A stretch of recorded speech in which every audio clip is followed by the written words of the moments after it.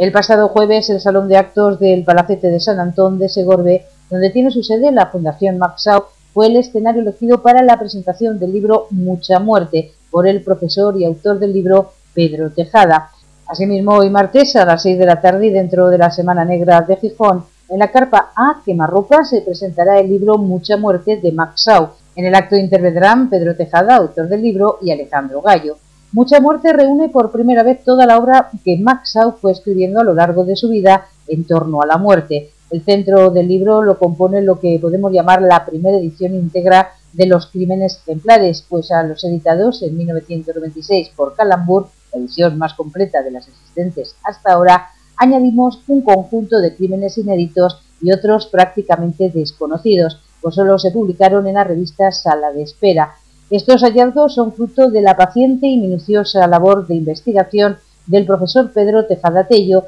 en los archivos de la Fundación Maxau de Segorbe. Mucha suerte no solamente añade este conjunto de nuevos crímenes, sino además todos los crímenes llamados infanticidios, todos los suicidios y todos los epitafios, tanto los textos inéditos recién descubiertos en los archivos de la Fundación Maxau, como los que se publicaron en la revista Sala de Espera y que nunca hasta ahora habían sido reunidos en un libro. La edición se completa con una deliciosa joya apenas conocida, Signos de Ortografía, una obra de 1968 que además de ser un homenaje al mundo de la imprenta, contiene microtextos y otras breverías permeados por el tema de la muerte, que bien podrían llamarse crímenes tipográficos.